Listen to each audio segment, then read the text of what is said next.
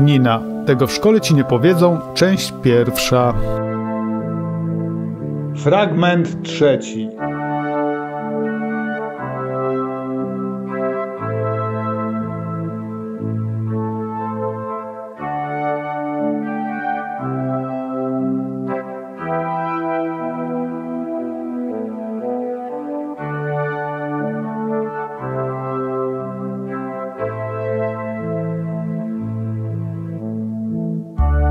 Spadek DNA.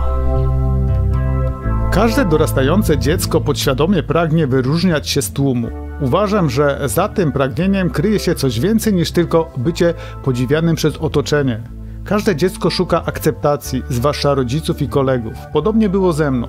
Podświadomie pragnąłem tego czegoś przyjaźni, bliskości, bycia zadowolonym z siebie, bycia radosnym i szczęśliwym. Z tych samych powodów zawsze chciałem zaimponować innym. Lubiłem być modny i ładnie wyglądać. Godnie reprezentowałem typowy przejaw narcyzmu dziecięcego i egocentryzmu. Wytłumaczenia tego typu zachowania można doszukiwać się na wielu płaszczyznach. Dziś wiem, że to coś, czego poszukuje każdy z nas, to miłość przez duże M.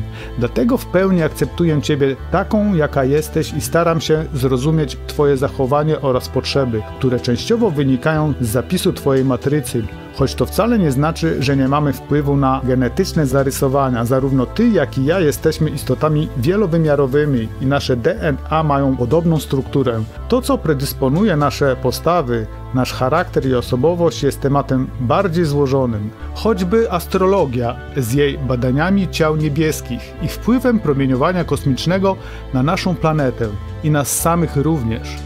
Jest to bardzo szeroki temat i z pewnością o wielu sprawach nie mamy pojęcia. Postaram się naświetlić Ci ten temat tak, jak dane mi było go zrozumieć. Wcześniej uczono nas, że DNA jest naszym dziedzictwem, takim spadkiem, który nas programuje i kontroluje całe nasze życie, determinując nasze przeznaczenie. Tego typu treści do dziś lansowane są na uczelniach młodemu narybkowi, który w przyszłości będzie wspierał system kontroli społecznej. Mówi się, że duch genów kontroluje nasze życie. Ten centralny dogmat cały czas dostępny jest w podręcznikach, twardo stojąc na straży hipotezy, zgodnie z którą jesteśmy konsekwencją genów i to właśnie one odpowiedzialne są za wszystkie nasze emocje, na które nie mamy żadnego wpływu. Uważam inaczej i z tymi żelaznymi faktami nie mogę się zgodzić. Wiadomo już, że DNA ma budowę zarówno fizyczną, jak i niematerialną. Niesie w sobie zapisaną cyfrowo-energetyczną informację, coś w rodzaju spadku po naszych przodkach, czyli projektantach naszego kodu genetycznego. Jednak zawiera także informacje o naszych wcześniejszych wcieleniach, które zapisane są w części niematerialnej DNA. Do tej pory nie udało się ludzkim okiem i szkiełkiem zlokalizować energetycznej, bardziej subtelnej części DNA. Wiedza o naszym organizmie sprowadza się do praw chemicznych i genetycznych, które wpływają na nasze postawy i przy okazji bardzo hamują duchowy rozwój. Teraz widzisz, jesteśmy specyficzną miksturą, hybrydą genetyczną. Otóż spadek ten często nazywany jest obciążeniem duszy. Prawdopodobnie nasi przodkowie i my sami też w naszych ostatnich wcieleniach ogromną wagę przywiązywaliśmy do naszej fizyczności i wyglądu. Utożsamialiśmy się głównie z fizyczną formą, jaką tworzy nasze ciało. Pod wpływem iluzorycznego poczucia upływu czasu wszystkie formy życia podlegają ziemskiemu prawu przemiany materii, które nazywamy śmiercią a upływający czas budzi w nas lęk przed starością i nieznanym końcem życia. Zapytałaś mnie kiedyś, czy mama umrze. Miałaś wtedy może 5 lat. Odpowiedziałem tak. Wszyscy umieramy. Każdy kiedyś umrze i mama także. Rozpłakałaś się. Powiedziałaś, zawsze chcę być z mamą. Nie chcę, żeby umierała. Przytuliłem cię wtedy i powiedziałem: Nie martw się, jak tylko będziesz chciała, to zawsze będziesz mogła z nią być. To nie my umieramy, tylko nasze ciała. My jesteśmy duszą, która mieszka w ciele, jesteśmy aniołami i wiecznie żyjemy w niebie. Zaraz po tym uspokoiłaś się.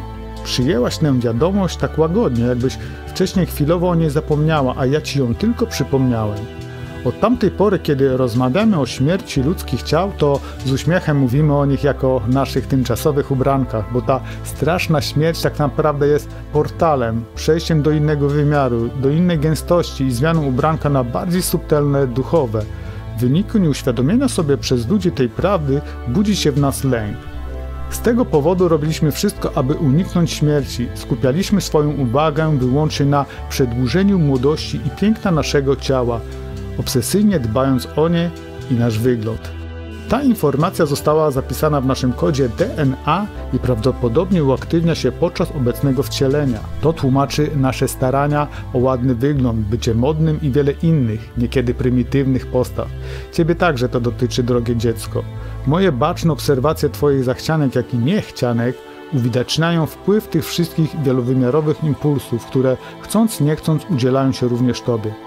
Twoje komórki niosą w swoich jądrach geny, czyli schemat fizycznej matrycy do produkcji naszego budulca. Tym budulcem są pierwotne cząsteczki zwane białkami. Chromosomy stanowią ich część. 46 chromosomów znajdujących się w jądrze składa się z 23 genów od matki i 23 od ojca.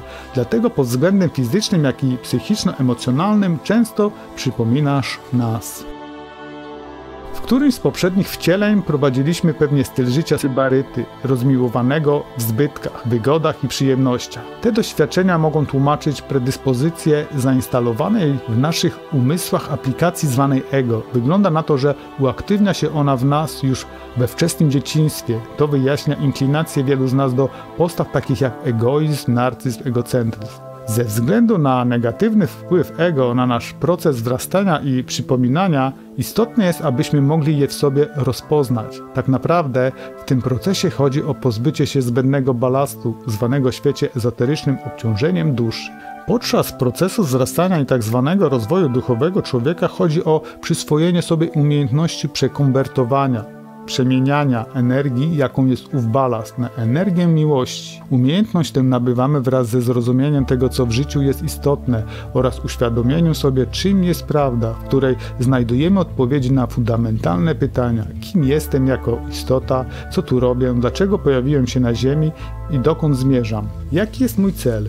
Umiejętność ta pozwala nam także skoncentrować się na pracy nad sobą w celu uszlachetniania siebie, a w konsekwencji prowadzić nas ma poprzez zbawienie do oryginalnego domu.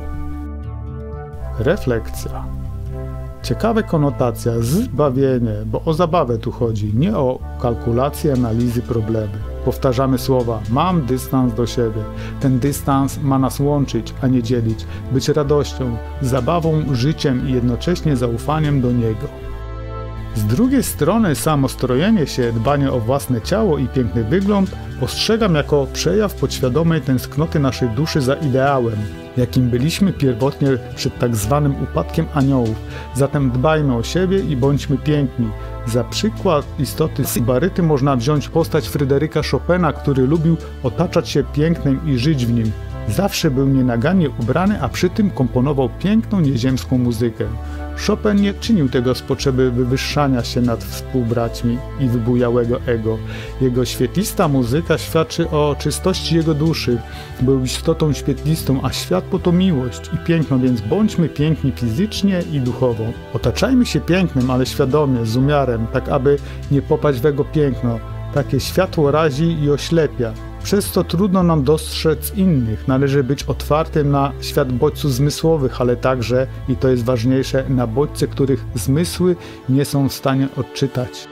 Teraz wiem, że moja dusza podświadomie szukała tego piękna. To w wyniku amnezji, z którą się rodzimy, nasze postrzeganie rzeczywistości poprzez zmysły jest wypaczone i następuje niezrozumienie istoty rzeczy. Coś mi mówi, że wymazanie nam pamięci przy ponownym wcieleniu się duszy na Ziemi jest zabiegiem celowym i wykonanym przez projektantów naszego ciała, Boga Bogów i ich popleczników, czyli istoty, które grzebały w naszych genach, ewidentnie nie chcą, abyśmy odkryli prawdę o nas samych. Manipulacje te mają na celu utrudnienie nam zagłębienia się w sobie, świadomości, którą jesteśmy. Dlatego z braku wiedzy w nieświadomości szukałem szczęścia na zewnątrz. Chciałem być modny, aby zdobyć aprobatę otoczenia i mieć pozycję wśród rówieśników. Bycie liderem, kierownikiem paczki kumpli satysfakcjonowało mnie i stwarzało namiastkę pozornego szczęścia.